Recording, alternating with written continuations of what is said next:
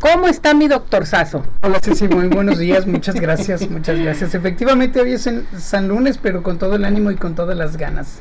Así Esta es. semana se, es un, se va a realizar algunos eh, eventos especiales dedicados al embarazo en la adolescente, que es un tema que nos tiene muy muy preocupados en México, que nos lleva a una gran cantidad de complicaciones y una gran cantidad de, de, preocupaciones a nivel nacional y a nivel mundial, caramba, o sea, deben de estar en la escuela no atendiendo bebés, ¿no? Tiene toda la razón, doctor, es la preocupación y se me hace tan raro, doctor.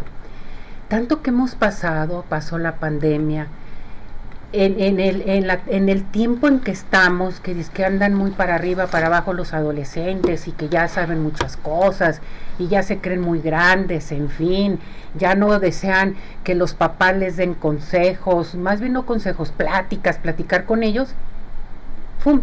sale esto. A embarazos totalmente y embarazos no deseados, doctor. Es parte de una mala educación sexual que tenemos y en la, en la idiosincrasia, vamos a llamarle idiosincrasia, de que a todo el mundo le pasa menos a mí. que yo sí me cuido y mi amiga no se cuidó y por eso salió embarazada, pero yo sí me cuido. Y si les preguntas a las chicas adolescentes eh, cómo es que se cuidan, pues dicen que él se sale antes o que, o que no identifican bien sus días fértiles. Nada más para señalar una cifra, el 50% de las chicas que tienen contacto sexual por primera vez no utilizan un anticonceptivo. El 50%. Y si nosotros le ponemos todavía más números, descubrimos que de acuerdo a estudios nacionales, la vida sexual de nuestros adolescentes inicia a los 14 años. Ah, caray. ¿Tan sí, temprana edad? Tan temprana edad. Mm. Hace algunos años trabajamos por el Seguro Popular uh -huh. y comentaba muy en broma que iba a atender a una pacientita ya entrada en años embarazada. Esa pacientita entrada en años tenía 19 años e iba por su tercera cesárea. ¡Qué barbaridad! Entonces, doctor. ese es el, el, detalle, pues. O sea, estamos eh, eh, metidos en un gran problema, es un gran problema de salud, es un gran problema de educación, es un gran problema que nos trae muchísimas complicaciones a nuestras embarazadas. ¿Por qué, doctor? Es que hasta biológicamente la mujer puede tener muchísimo mayor deseo sexual durante sus periodos fértiles, por, un por una simple razón de supervivencia. Entonces, mm. si tienen eh, eh, mayor deseo sexual en días fértiles y el 50% no toma algún método, no usa algún método anticonceptivo, hasta el simple preservativo, pues ex existe una gran posibilidad de embarazo. ¡Qué barbaridad! de ese tamaño es el problema. Entonces, pues educación sexual y bueno, si ya están embarazadas, pues son pacientitas que, que probablemente no tengan un buen factor de nutrición, uh -huh. son pacientitas que ocultan su embarazo hasta bien entrado el segundo trimestre o más.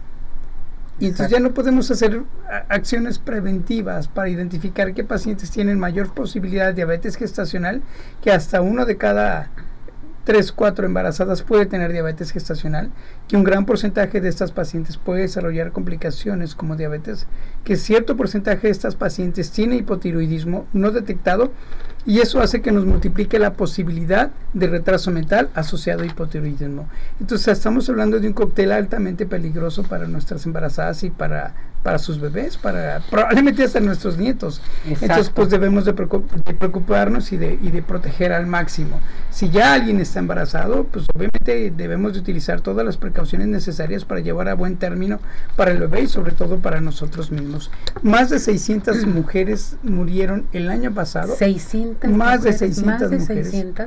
Así es. Híjole, es una cantidad tremenda. Tremenda. Algunos estudios internacionales reflejan el nivel de desarrollo de un país en base a las tasas de mortalidad materna. Y México estamos muy mal. A pesar de que somos del grupo de los 20 mejores economías del mundo, tenemos una tasa de mortalidad muy, muy alta. Más de 600 mujeres, 623 el año pasado. Algunas no se reportan, pero si nosotros estamos pensando que son 50 al mes, entonces estamos diciendo que es aproximadamente una mujer y media se muere cada día por complicaciones propias del embarazo. Del embarazo. Doctor, entonces, aunque estés joven, o sea, ¿se te presenta la diabetes en un momento dado gestacional? Sí, claro, porque un porcentaje muy alto. Es que no es que nos manejamos y nos manejamos y nos manejamos con realidades y con cifras y nos vamos muy sorprendidos, porque México es el país más importante en obesidad infantil. Si tenemos obesidad infantil a los 12, 13 años y salen embarazadas a los 14, 15, 16 años, no revertimos esa obesidad y automáticamente le vamos a colgar una etiqueta a nuestras pacientes con una mayor facilidad a ser diabéticas gestacionales. Qué barbaridad. Así es. Hablando acerca de la adolescencia entonces, usted como médico ginecobstetra, como médico que lleva a cabo también este maestría en sexualidad, ¿a qué edad es recomendable entonces en un momento dado llevar a nuestras hijas con el ginecólogo? Porque dicen, no, no, está chiquita, nada de ir con el ginecólogo. No, no, no, todavía estás en secundaria, ¿para qué vas con el ginecólogo? En fin. Y a veces las niñas quieren ir con el ginecólogo porque algo está sucediendo. O sea, esa mentalidad de, los padres en un momento dado como que nos estanca. Hay que llevarlos, ¿no? Hay que llevarlos y sobre todo también a los jóvenes en un momento dado, no con el ginecólogo, con el sexólogo, con el urólogo, en fin, no sé, ¿qué, qué recomienda usted? Dicen los abuelos que la mejor educación se mama exactamente. Entonces una buena asistencia no se trata de enseñarles todo el protocolo, todas las imágenes pertinentes de cómo hacer el amor, sino se trata de enseñar la responsabilidad pertinente a cada edad y a cada momento. ¿Y de cuándo cuándo son pacientes del ginecólogo? Bueno, tenemos bebecitas que tienen 6, 8 meses con infecciones vaginales. O sea, la mujer es paciente del ginecólogo por definición, desde que nace hasta sus últimos instantes. Entonces siempre, y, y, y, yo prefiero, yo les digo mucho en la consulta decir, más vale prevenir que lamentar. Bautizar. Ah, que bautizar. Usted fue más rápido, doctor. Más vale prevenir que bautizar. Entonces, debemos de estar cerca de nuestros hijos, debemos de, fomentarles la responsabilidad. Es, es, anoten las siglas ESR, educación, sexualidad, sexualidad, responsabilidad. O educación, responsabilidad y sexualidad como ustedes quieran ponerle, pero se trata de eso, se trata de, que nosotros propiciemos el mejor ambiente de desarrollo y de superación a nuestros hijos. Y claro, lo que nosotros hagamos o dejamos de hacer se ve total y absolutamente implicado, en el futuro de nuestros hijos. Entonces aquí lo importante es, es la importancia de un buen control prenatal. Esto es bien importante también, ¿no? Claro, inclusive va más allá. Existe un programa que se llama consulta preconcepcional. La consulta preconcepcional debe de llevarse a cabo 3-4 meses antes de un embarazo. Entonces ahí identificamos infección de vías urinarias, obesidad, probablemente diabetes, etcétera, anemia, que es una gran cantidad, y entonces mejoramos las condiciones de nuestras mujeres para que cuando sean gestantes, cuando estén embarazadas, entonces a partir de ahí tengamos un mejor resultado hacia el final del embarazo. Perfecto. Y si seguimos hablando de programas, pues déjenme platicarles que existe el programa Mil Días. Ah, el programa Mil Días son los 280 días de la gestación, 365 del primer año y otros 365 días del segundo año. Durante esos mil días, nosotros estamos programando a los hijos, a los bebés, para que tengan una mejor vida, una vida más saludable. Si nosotros tenemos un bebito que pesó 2,200, tiene más tendencias de ser diabético a la larga. Si nosotros tenemos un bebé que pesa más de 4 kilos, lo estamos marcando a que sea diabético a largo plazo. Entonces, ese programa Mil Días que está a cargo del ginecólogo y del pediatra, especialmente un neonatólogo, pues eso nos hace que nuestro hijo tenga menos posibilidad de complicaciones ya en su vida adulta. Qué barbaridad. Voy con participación del público, pero antes vamos a darle su número telefónico a nuestro público. Esta, la gente nos ha felicitado, doctor, porque lo tenemos aquí dentro del programa de Arriba Corazones, con toda la información que les estamos dando, la gente que nos pregunta en un momento dado los datos de usted y están encantadas sobre eh, ven a chequeo y no a consulta, que eso es bien importante y es interesante darles el número telefónico, dónde se encuentra usted, a dónde se deben de dirigir, porque se me hace esencial. El estar escuchando toda esta información que usted nos está dando, decimos, bueno, ¿y a dónde acudo? Bueno, pues vámonos con el doctor Alejandro Zúñiga para que nos cheque y puede checar a las adolescentes, a los adultos, a la gente de la tercera edad, todas, todas las mujeres se tienen que checar. ¿Dijeron a todas? Todas. Teléfono. El con teléfono del consultorio lo pongo a sus órdenes. Es un teléfono fijo 33 36 30 05 55. 55.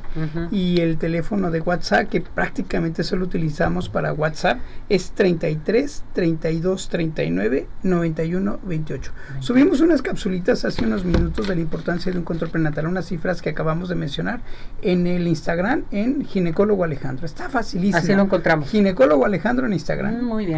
Vámonos a, Instagram. Bien, Nayeli García lo manda a saludar, dice doctor Alejandro, ¿cada cuánto o cada cuándo son las citas en un control prenatal? Sí, todo va a depender de la naturaleza del embarazo. Hay ocasiones en que yo quiero ver a las embarazadas casi a diarios más, casi, casi me quiero ir a vivir con ellas para estarlas checando. Pero vamos, el control prenatal debe de hacerse muy muy a tiempo en, los, en, el primer trimestre, cada 15, cada 22 días, para ir viendo cómo va el desarrollo del embrioncito hasta que se transforma en, el, en un feto a la semana 12. Ahí podemos irnos cada, cada mes. Cada mes. Y ya después de la semana 35, ya que estamos muy próximos al fin del embarazo, pues puede ser semanal o, cada, o, dos veces por semana. Todo depende de la naturaleza del embarazo. Si nosotros le buscamos, todas las embarazadas tienen algún factor de riesgo. Hay hipertensión, hay diabetes, hay, hipotiroidismo, o que tienen tres cesáreas previas, o que tienen abortos previos. Entonces debemos de particularizar de verdad, de verdad es que si yo tuviera mucho dinero, yo no tendría un hospital, tendría un hotel. No, hombre, doctor, no le alcanzaría. Me, para vivir con ellas. Y ya se las quiere llevar a vivir con usted, y pues póngase un hotel. Exacto. Nos vamos para allá, doctor. Claro, y así las estamos checando día a día. a ver, tengo la llamada de Alberto Gutiérrez, dice, doctor, la pregunta que yo también le hice por parte del público dice, ¿qué porcentaje de las mujeres quedan embarazadas en la primera relación? No tenemos estudios, pero les puedo asegurar que si la, la, relación se da en etapa fértil, yo creo que una de cada cuatro va a salir embarazada. Qué barbaridad. Cuídense, por favor, jóvenes. ¿Más vale prevenir qué? Que embarazarse. Bautizar. O que bautizar. Más bien, yo ya lo inventé, que embarazarse. Esperanza Montes lo era, dice, Doctor, ¿recomienda tomar algún suplemento o vitamina durante el embarazo? Sí, claro. Tenemos que tener un suplemento con hierro, tenemos que tener un suplemento con vitamina D, tenemos que tener un suplemento con oligoelementos como el zinc, tenemos que tener un, suplemento con, ácidos grasos. Sí, en fin, la, dieta de una embarazada va, esa es, es el, la piedra fundamental de una buena atención. Perfecto. Entonces, si tenemos una buena dieta, la podemos complementar con los vitamínicos que están al alcance de todo el mundo. Pero la base no son las vitaminas, es una buena dieta. O sea, resulta que se toma puntualmente sus mm. pastillas de, del embarazo y se anda comiendo papitas con chile tres veces al día. Ah, no, ah, o que se brinca comidas. Entonces, el aspecto nutricional está solo complementado, solo complementado con vitaminas. La base es una buena nutrición. Una buena nutrición, perfecto. Aquí María del Refugio Robles dice, ¿qué chequeos son primordiales en el control prenatal? Número uno, ultrasonido para fijar la edad gestacional y las condiciones del embarazo. Y número uno, porque todo es importante, examen de anemia, examen de orina, ver cómo está el azúcar, cómo está la función del riñón y examen, yo siempre ya les estoy complementando a todas mis pacientes, exámenes perfil tiroideo. El perfil tiroideo nos permite descubrir algunos factores que pueden ocasionar que el bebé tenga retraso mental. Así de importante es. Ah, ¿De veras, doctor? Sí, sí, sí, sí, sí, Entonces, pues bueno, debemos de tener mucha, mucha, mucha atención con todo esto. Y fíjese, doctor, que muchas jovencitas ahorita están teniendo problemas de tiroides también. Tiene toda la razón. Así Hay que checarse. Hay que checarse. Y no es más que el mismo piquetito para para la sangre nos sirve para todas estas funciones, más el examen de orina, que es la primera orina de la mañana. Por eso es bien importante, ven a chequeo, no a consulta con el doctor Alejandro Zúñiga, gineco-obstetra, con maestría en sexualidad, que te está invitando en una sola sesión. En ¿Hacemos nuestro chequeo, doctor? Claro. A ver, platíquenos. Bien, estamos hablando del chequeo ginecológico que hacemos Papa Nicolau, colposcopía, bulboscopía, que es el estudio microscópico de la vulva, ultrasonido pélvico y de ovarios, y y, hacemos ultrasonido de mama. Eso es en el aspecto ginecológico. Y en el aspecto de embarazadas, pues es el, examen con ultrasonido, en donde fijamos en qué condiciones se encuentra el bebé, si es uno, si son dos, si está bien implantado, si va creciendo de acuerdo a lo esperado, amén del peso, de la talla, de, de la presión arterial y solicitamos y revisamos los exámenes pertinentes para llevar a, cabo un buen control prenatal. Un buen control prenatal. Todo en la misma consulta. Y tenemos un equipo de alta tecnología, entonces pues si tenemos una buena toma, que el bebé esté de carita, que haya líquido muy cerca de su cara, pues le podemos tomar un buen 4D o un buen 3D. Son cosas maravillosas. Y ahí ya se da a conocer cómo está y qué es lo que se debe de hacer. Así es. Eh, ¿Qué teléfono tiene, doctor? Nos vamos a comunicar al consultorio, ¿verdad? Sí, consultorio fijo 33 36 30 0551. Perdón, 0555, lo repito, 33 36 30 05 55. Exacto. Tenemos un WhatsApp también. Así es, es un WhatsApp, es 33 32 39 91 28. 33 32 39 91 28. Bien, a ver, aquí tengo Albeido González, dice. ¿Es Albeido o Albeida? Ah. ah, perfecto. Dice, ¿a qué edad, dice, a qué se debe que los papás estén de buen físico y altura y los hijos nazcan muy pequeños y desnutridos? Ah, caray. Diabetes, hipertensión, mala nutrición de la mamá. No podemos esperar a que terminemos un buen embarazo si no lo llevamos bien durante el tiempo o si no lo preparamos. Entonces cada vez encontramos más bebés de 2.200, 2.300, 2.400, ¿sí? que pues la mamá pudo haber tenido algún problema durante el embarazo, como anemia, como hipertensión. Estamos hablando de preeclampsia, que es una de las principales causas de muerte en nuestro México. Entonces todo eso condiciona a que tengan bebés pequeños. Si no tenemos una buena maceta con un buen fertilizante, no podemos hacer que crezca bien nuestra plantita. ¿sí? Entonces tampoco debemos de esperar a que esa placenta, eh, eh, de que esa maceta tenga buenos frutos a largo plazo. Y ahí va, ahí va nuestra historia, nuestra historia, nuestra historia. Era el señor Alberto González. Mil disculpas, don Alberto. Muy buenas preguntas que está haciendo don Alberto, ¿eh? Sí, sí me están poniendo a pensar. está pensando demasiado. Y de veras, hay que platicar, hay que llevar un buen control prenatal porque este, esto te lleva a un buen fin, doctor, que esto es bien importante, sobre todo. A mí me encanta disfrutar los embarazos en donde todo sale al, por mayor. Y yo puedo estar todo el día en una sala de atención de embarazo sin ningún problema, todo de maravilla. Todos los, todo el día, varios eventos, sin problema. Pero si se complica uno, eso sí desgasta. eso sí es tremendo, eso sí. Mientras todo salga perfecto, es jijiji, jajaja, y para la foto y para el recuerdo todo maravilloso. pero si algo se complica, entonces es un desgaste tremendo. Recordemos, como regresamos al inicio del programa, nuestras embarazadas se siguen muriendo en nuestro México. Entonces, por eso hay que llevar un buen control prenatal. Lo mejor es no meterse en problemas. Y no meterse en problemas y cuidado con los adolescentes. Hay que hablar con ellos. Sí. Hay que platicar.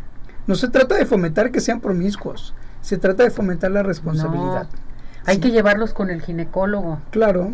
Y, ojo, ojo, no podemos sustituir una buena atención médica ni una buena escuela primaria o secundaria si no tenemos una buena educación en casa. Exactamente. Volvemos a lo mismo, la educación se mama. Si nosotros tenemos la, la comunicación de confianza con nuestros hijos, seguro está que vamos a ser hijos más seguros y que tomen mejores decisiones. Nosotros no vamos a decidir por los hijos. Nosotros no educamos a los hijos. A veces los hijos nos educan a nosotros. Pero nosotros debemos de sembrar la semilla de comunicación con nuestros hijos para que ellos en su entendimiento, en su experiencia, tomen las mejores decisiones. Porque no es suficiente la información que les dan en las universidades, en los colegios, en las escuelas, doctor. Ahí viene lo que lo que lo que comentamos mucho en un foros de sexualidad y educación. Y de verdad los formadores están capacitados para transmitir esa educación. Y de verdad lo tienen. Y de verdad les importa. Y de verdad alguien que se para seis horas frente a 50 o 60 personitas en formación tiene el tiempo, la dedicación y la preparación para poder influir positivamente en estas personas? Bueno, pues entonces los papás, esa es su función. Ya dijimos de que de antes de que inicie el embarazo, consulta preconcepcional, un buen control prenatal, unos buenos dos primeros años de la vida y estar al pendientes de que la macetita, de que la plantita esté en, las perfectas condiciones para la mejor vida de estas personitas y de sus hijos. Y de sus hijos, que es lo más importante. Por eso invitamos a nuestro público. Ven a chequeo, no a consulta con el doctor Alejandro Zúñiga, gineco-obstetra con maestría en sexualidad. ¿A qué teléfono se tienen que dirigir con usted, doctor? Con mucho gusto, teléfono fijo 33 36 30 05 55 y tenemos un WhatsApp que es el 33 32 39 91 28. Estamos a sus órdenes. Doctor, ¿algo más que desea agregar? No, por favor, cuídense. No hay nada más padre que, que, disfrutar el nacimiento del ser amado y que todo sea jijaja y jijiji y no que estemos sumamente preocupados por qué va a pasar con nuestras embarazadas. De verdad, de verdad, de verdad, nadie piensa en que una embarazada se puede morir. Y una embarazada, dicen las abuelas, está conviviendo con la muerte durante bastante tiempo. Vamos alejándonos de esa calaca, de la calavera, de la muerte, como le queramos llamar, mejorando nuestras condiciones y atendiéndonos en un lugar adecuado y estar muy, muy al pendiente de lo que nos esté sucediendo en el embarazo. Perfecto. Doctor Alejandro, muchísimas gracias, que le vaya muy bien. Nos vemos para la próxima con más plática, por favor. Necesitamos platicar muchas cosas y sobre el, embarazo, que se deben de cuidar, deben de checarse, muchas cosas que usted tiene que decirles a nuestro público. No hay nadie más importante que uno mismo. Si, nadie, si tú no te cuidas, nadie te va a cuidar. Nadie. Total. Nadie siente lo que tú sientes. Eso es ¿Quién lo sabe? Sí, claro. La, la responsabilidad es absolutamente de quien porta el embarazo. Los papás, los esposos, los ginecólogos, pues podemos hacer algo pero en realidad la mamá es la que está en contacto directo con su bebé y es la que debe de cuidarse al máximo. Así es. Gracias, doctor. Un privilegio. Cuídese mucho. Muchas gracias. Hasta la próxima. la producción. Felicidades. gracias.